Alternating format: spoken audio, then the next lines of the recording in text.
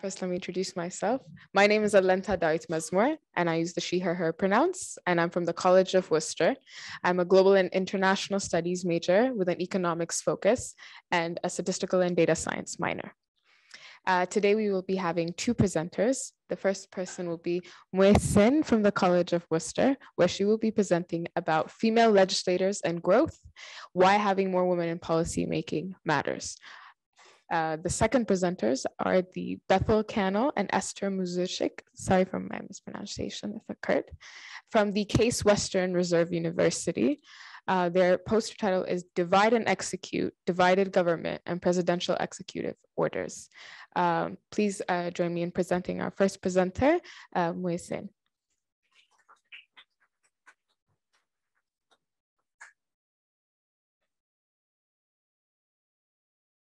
So um, yeah, my name is Mui Sin. Um, I'm a senior at the College of Wooster, and um, I'm also a global and international studies major and a data science minor as well. So, um, so today I'm going to be presenting about um, female legislator representation and growth, and um, sort of explaining why having more women in policymaking matters.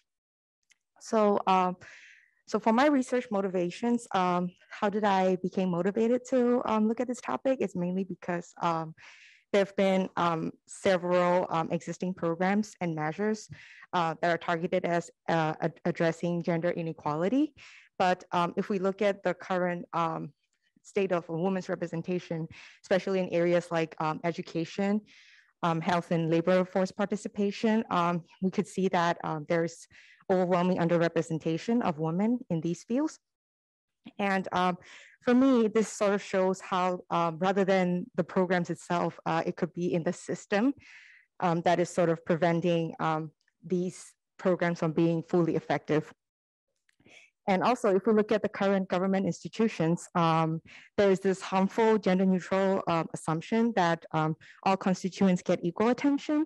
Um, but but if we look at the government resource allocations themselves, um, we can see that um, only about two to 3% overall of the GPA, uh, uh, GDP on um, average uh, gets allocated to um, welfare areas like education and health.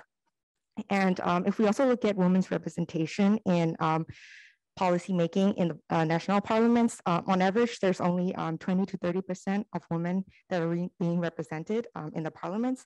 So um, if we look at all of these together, um, it sort of shows how um, the existing institutions, especially political institutions, are uh, very male dominated, I would say. And this sort of motivated me to sort of start looking at ways in which uh, we could um, try to challenge um, the gendered nature of these institutions. And this is why I decided to look at um, the female legislative representation itself and um, what are the implications in terms of um, economic and welfare growth in the long run and short run. And yeah, that's my research motivation. And um, for my research question, it's basically ask, investigating how increasing female legislative representation um, would lead to um, growth outcomes in the short run and the long run. And my hypothesis is that um, increasing the number of female legislative representation uh, would lead to um, growth outcomes through increases in um, education and health spending um, from the government. And um, some of the, before I move on to the theory, I will just talk a little bit more about the literature insights that I found. So since uh, my topic involves investigating a, part, like investigating political institutions. So uh, I kind of look at um, some of the political science literature as well.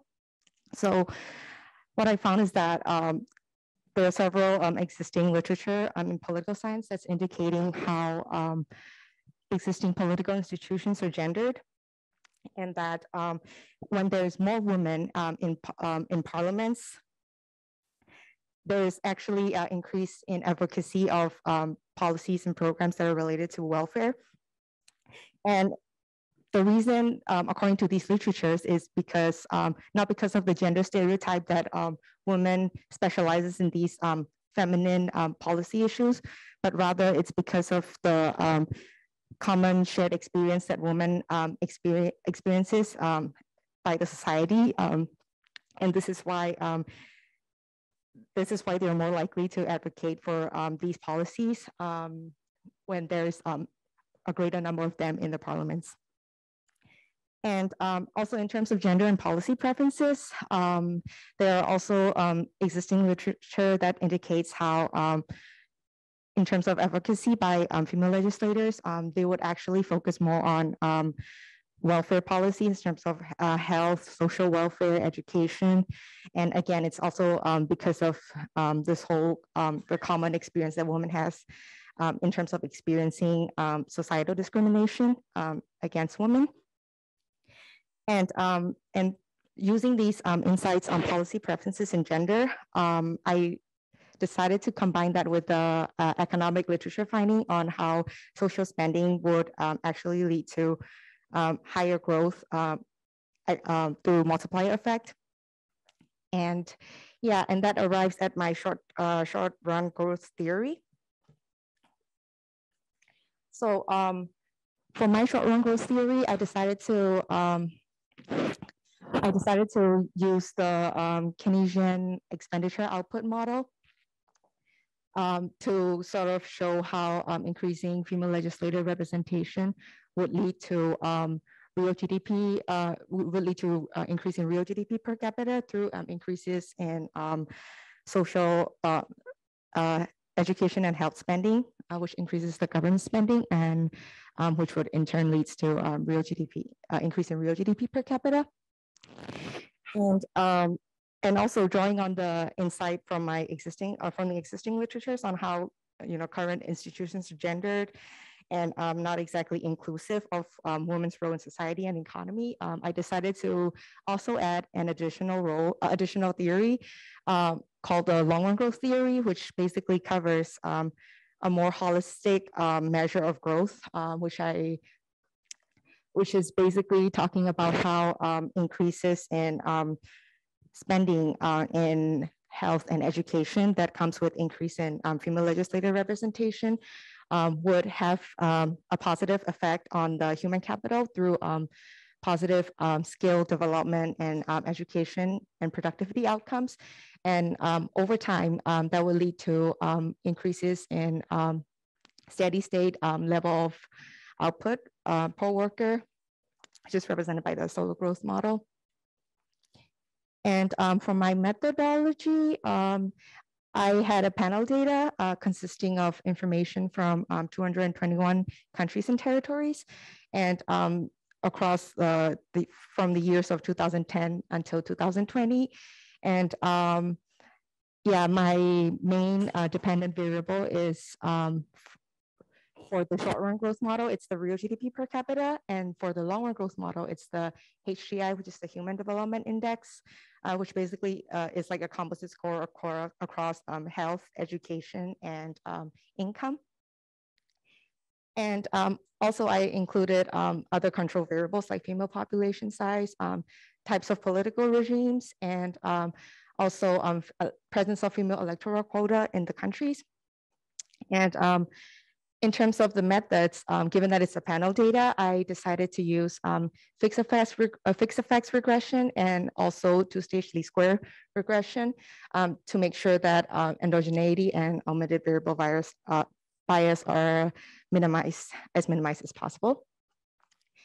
So um, I had a lot of results, but um, I'll just summarize it so that it's easier for everyone. Um, so in terms of results um, from both fixed effects and two-stage least square um, estimates on, I'll start with the real GDP one. So, um, so I found that real GDP, uh, there's no statistically significant impact that female legislative representation has on real GDP per capita, but rather um, it's the other variables like year, the year dummy variables and um, things like regime, uh, dummy regime variables and uh, female population size that has an impact, um, which is um, a little bit against what I hypothesized, but um, the likely reason behind, I believe, is because um, when we look at real GDP per capita, um, it doesn't really include the economic contributions of women, especially you know, given that they're they're majorly involved in things like um, unpaid health, uh, unpaid household work and um, care work. which are not really included in the real GDP per capita.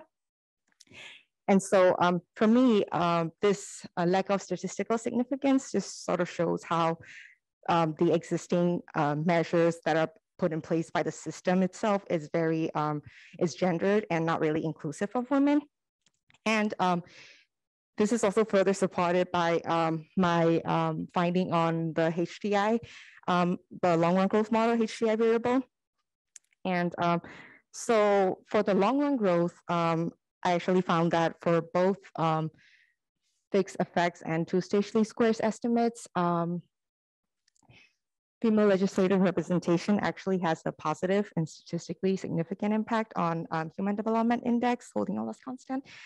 And um, for me, it kind of shows how um, having more women um, has, in the long run, has more um, comprehensive um, and positive impact on the growth rather than ju not just, you know, economic growth.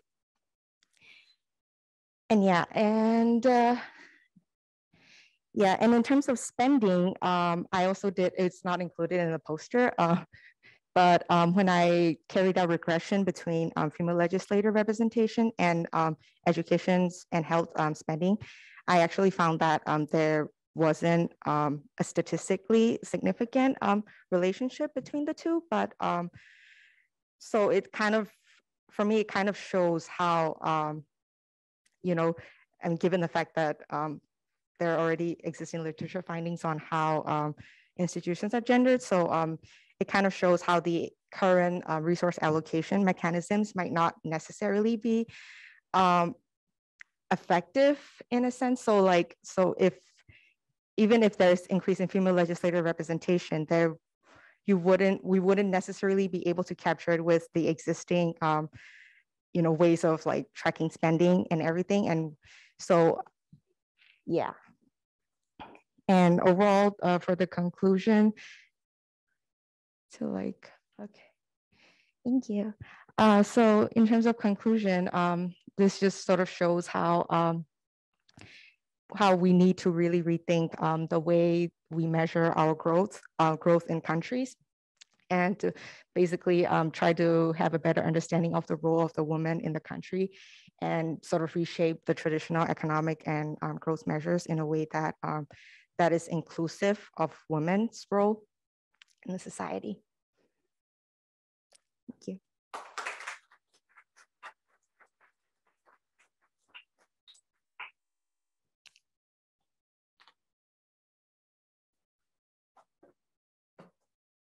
you.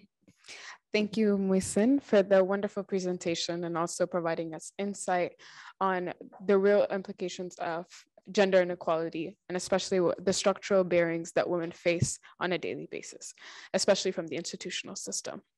Um, for now, to further discuss this paper, we will have our discussant, uh, Vaughn, uh, if you want to come up.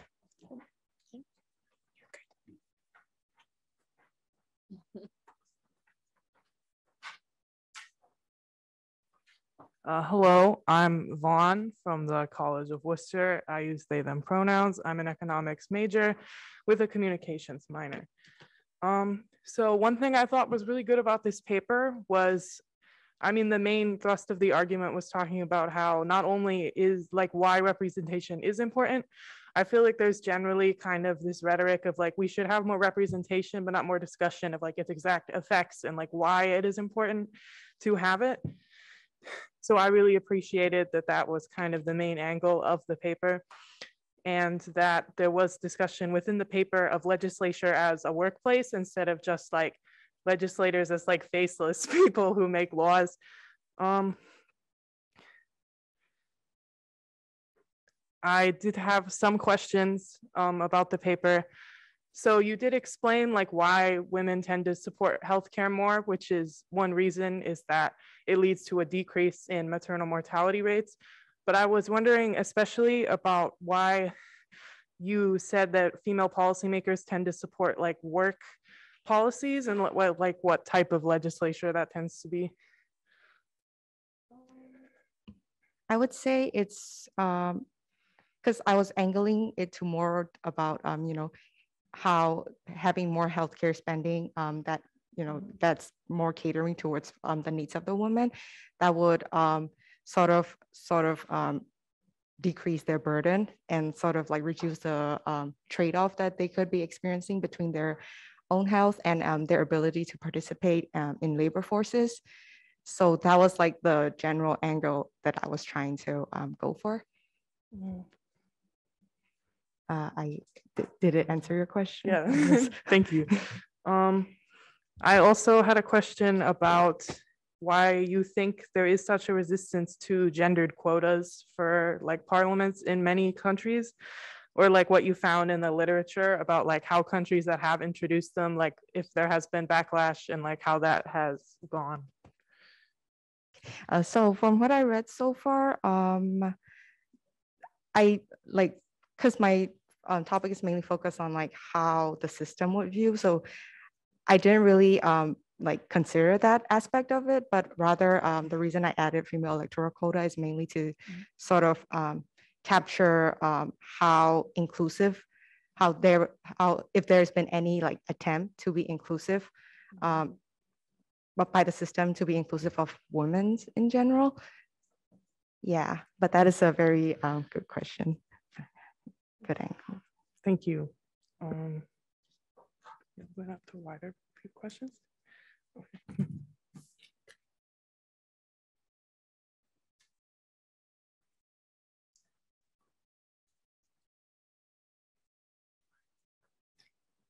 Thank you, Vaughn, for the wonderful discussion. Uh, for now, for the next five minutes, we'll be opening up for Q&As and uh, Moisin will be answering a few questions from the crowd. So if you're virtual or in person, we will be taking questions.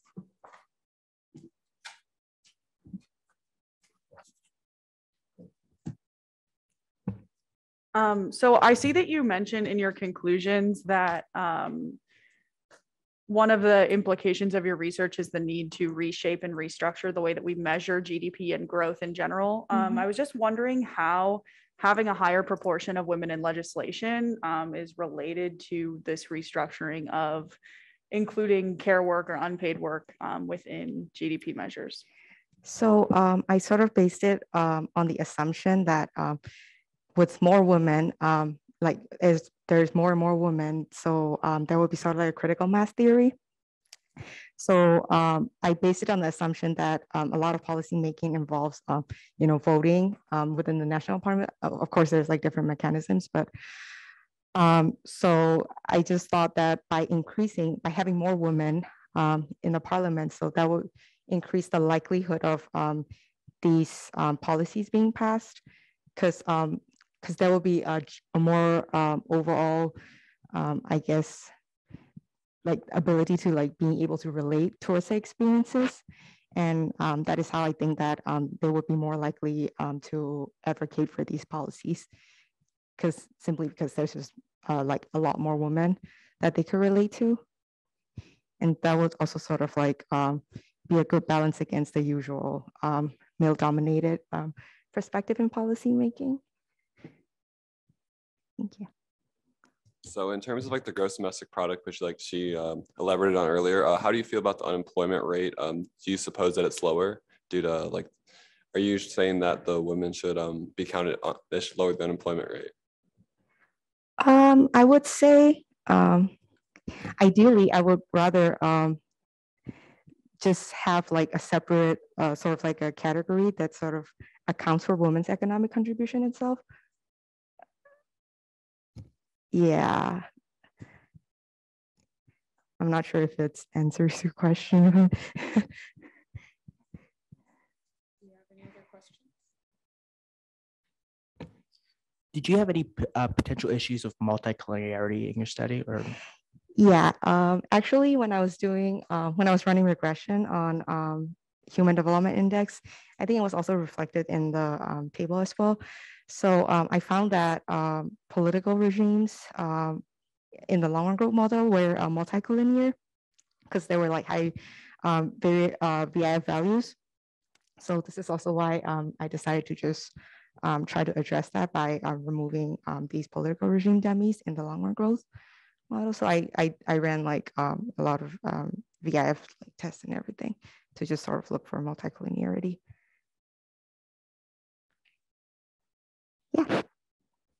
Um, I'm just wondering if you like came across anything that kind of flipped the two things that you're looking at. So maybe looking at the relationship of economic growth on the presence of female legislators instead of the other way around. That makes sense. Yeah, I did uh, kind of thought of that, but um, for me, um, because when I was uh, when I was already doing the literature, um, I thought it would be uh, because there's already so many literature on like economic growth and how it affects women's role. So I thought um, it would be a more interesting take on the research to just flip it, um, since there isn't really much um, like existing research and literature on the role of the woman and like on that reverse part. So yeah. Okay, thank you. Thank you so much. Uh, now we'll have our second uh, presenters, Bethel Cannell and Esther Muzic. Come in.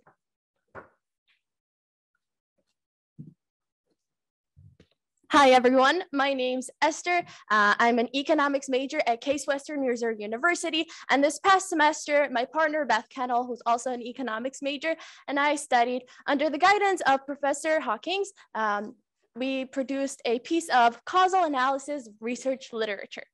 So during his presidential campaign, President Donald Trump loudly and proudly denounced Obama's use of executive orders, um, exclaiming that President Obama issued the executive orders to bypass the congressional adversity he would face uh, if he were to issue legislature. However, throughout uh, Obama's presidency, an annual average of 35 executive orders were issued, and during Trump's, 55. So what causes executive orders to be issued? In our research uh, piece, Divide and Execute, that is exactly what we look at. Uh, we use a propensity score matching technique to analyze the causal effect, as well as um, ordinary least squares regressions and negative binomial regressions.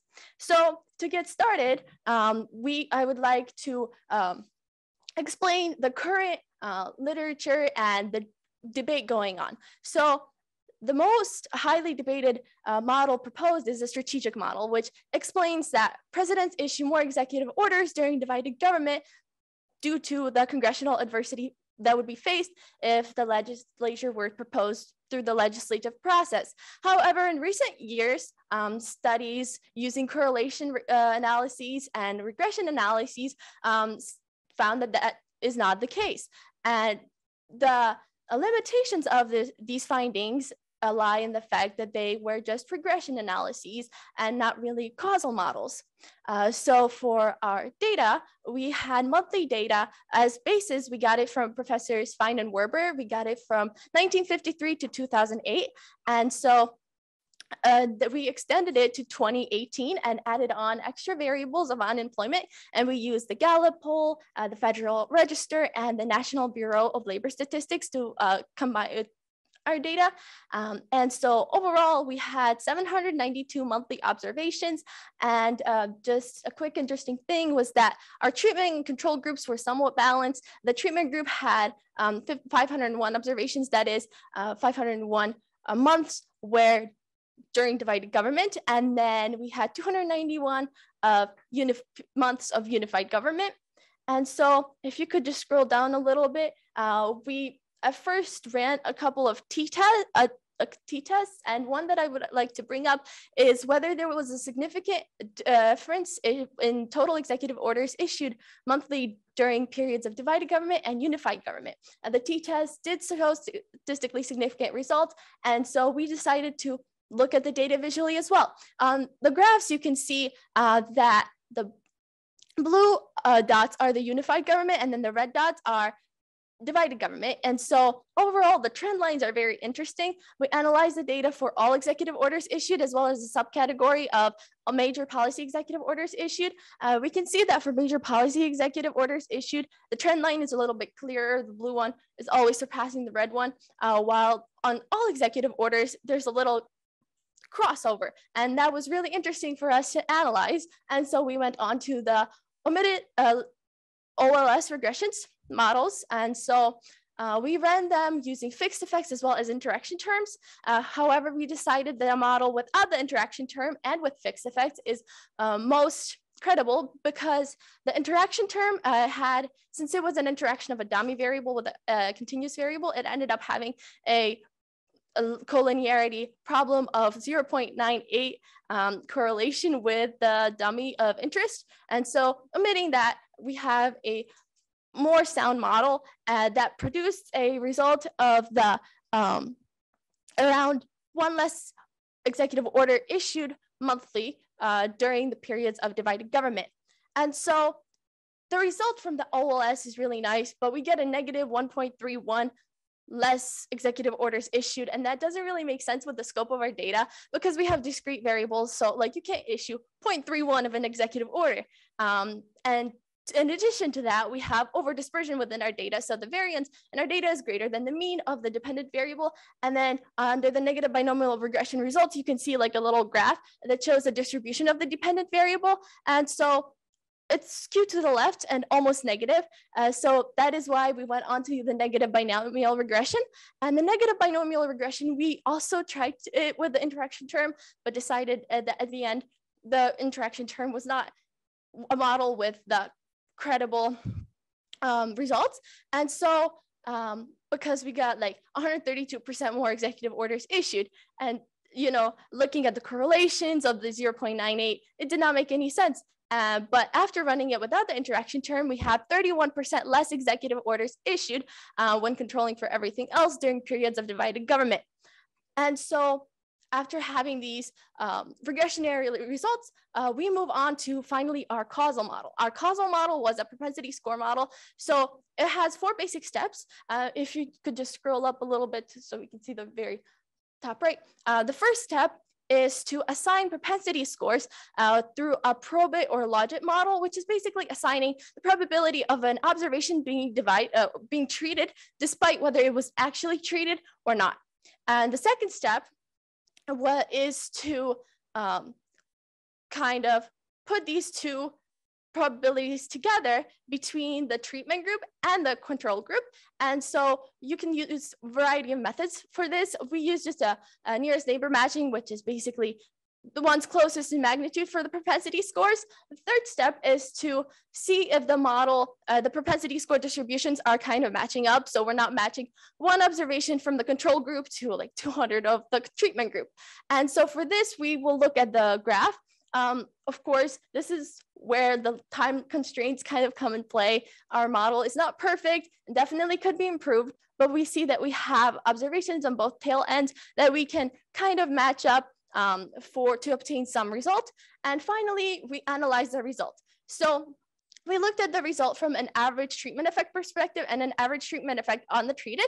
And ultimately, we find that we have approximately one less executive order issued due to divided government uh, monthly. And so overall, this conclusion may not seem like a lot, you know, just one less executive order issued. Uh, but if you think about it in economic significance terms, Congress changes every two years. I present four years. That is 24 months, 48 months. Now, 24 executive orders might have a bigger implication. Um, and so that is why it is important to continue this process. Um, but before we finish up, uh, I would like to talk about some shortcomings of our personal paper. Um, so first, the distribution of the propensity scores are, as mentioned previously, are a little bit not ideal. And so expanding the model if we have more time would be great. And also propensity scores may not have been the best um, model to use. So in further research, it would be really interesting to study like using an instrumental variable or potentially a regression discontinuity design. Um, and then finally, the negative binomial regression used uh, potentially the data is only skewed to the left and not exactly negative. So looking at other uh, regressions would be really interesting. Uh, but ultimately, the question is, are executive orders too easy to issue for the president? Or is the legislative making process way too difficult? Um, so although this paper does not answer that question, it is definitely the beginning steps for the process. Thank you.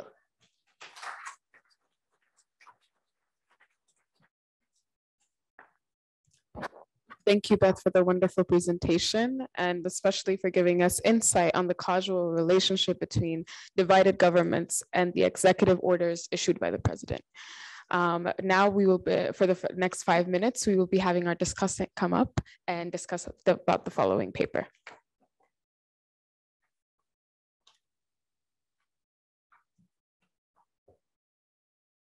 Um, thank you for your presentation. Um, I enjoyed it a lot. Um, definitely, it was good to try to go for a causal approach instead of going for like the the easy, like casual assumption that a more divided government would mean more executive orders.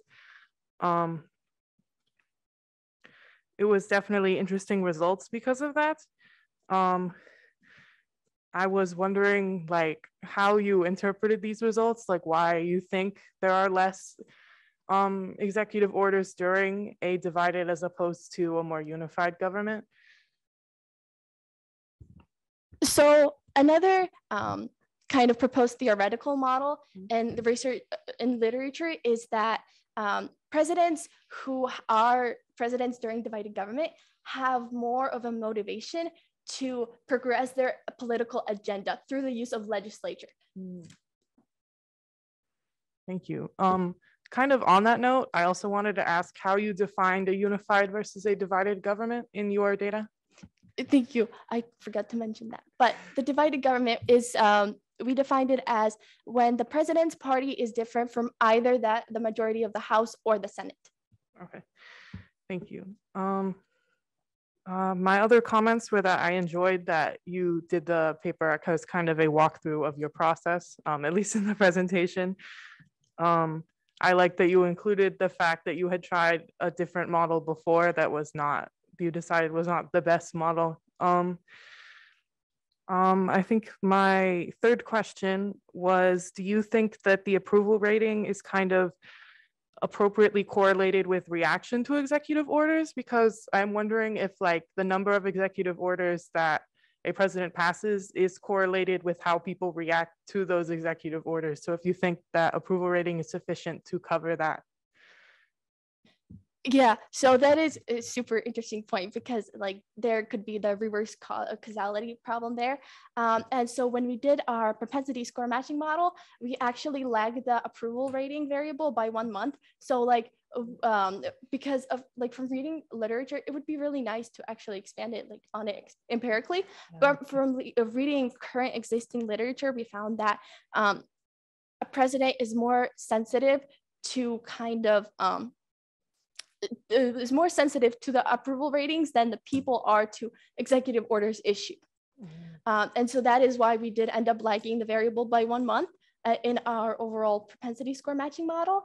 Um, but um, yeah, that is a very, very good point.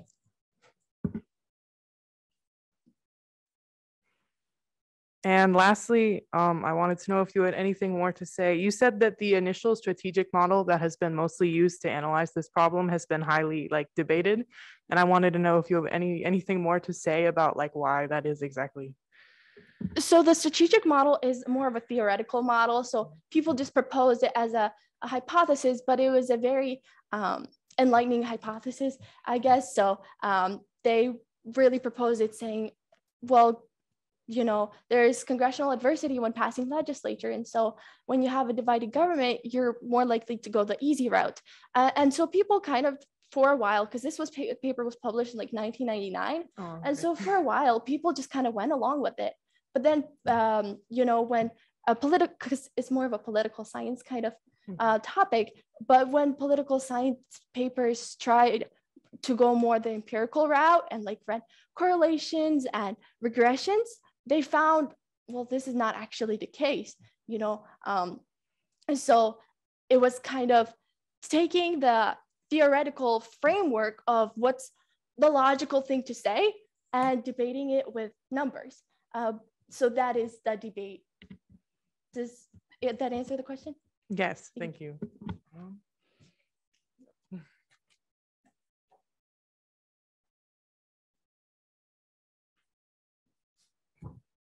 Thank you, Vaughn, for the wonderful discussion. Um, if you would come up to the stage.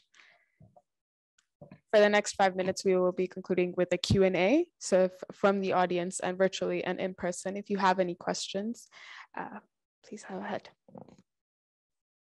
I have one. So um, I noticed that you, um, your data stops at 2018, correct? So um, I guess I was just wondering how you think the like impact of the COVID-19 pandemic may play a role. There were a lot of executive orders issued to avoid the lengthy legislative process, just to you know get actions done more quickly. Um, so I guess, do you think that would fit into your model, or what? What do you think would happen?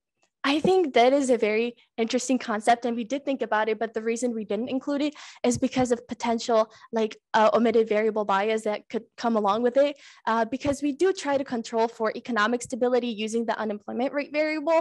Uh, but obviously, the COVID pandemic impacted a lot more than just unemployment.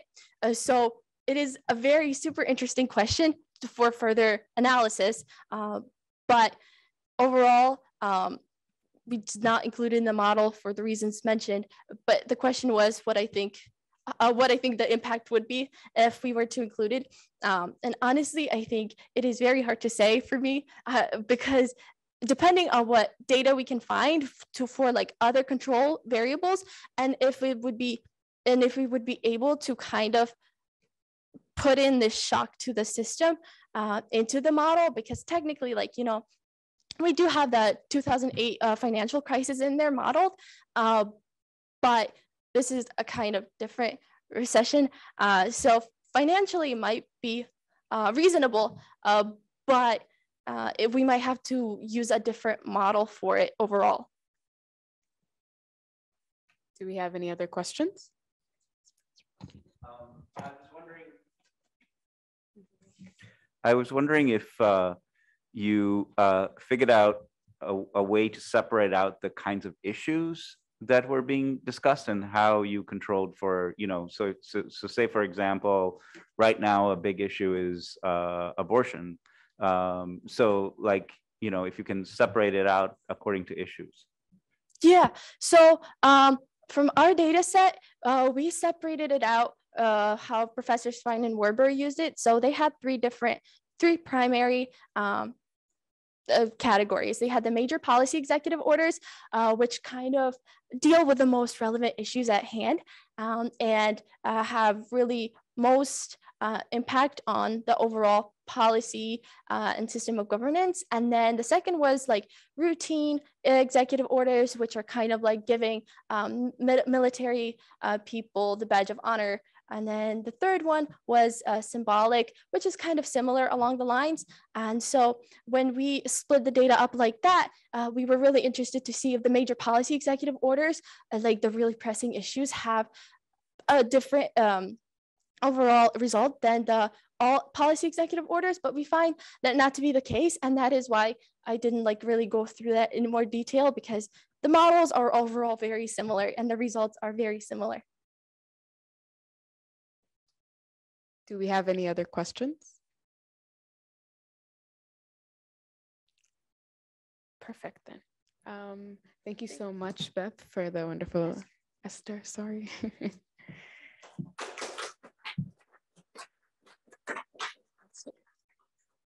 Perfect. Uh, thank you all for coming. Uh, this will be uh, a conclusion of our session, the second session block. Uh, and I would like to first thank the presenters uh, for truly displaying an, inter an, interdisciplinary research of both political science and economics. Uh, and thank you all for attending this session. Have a good one.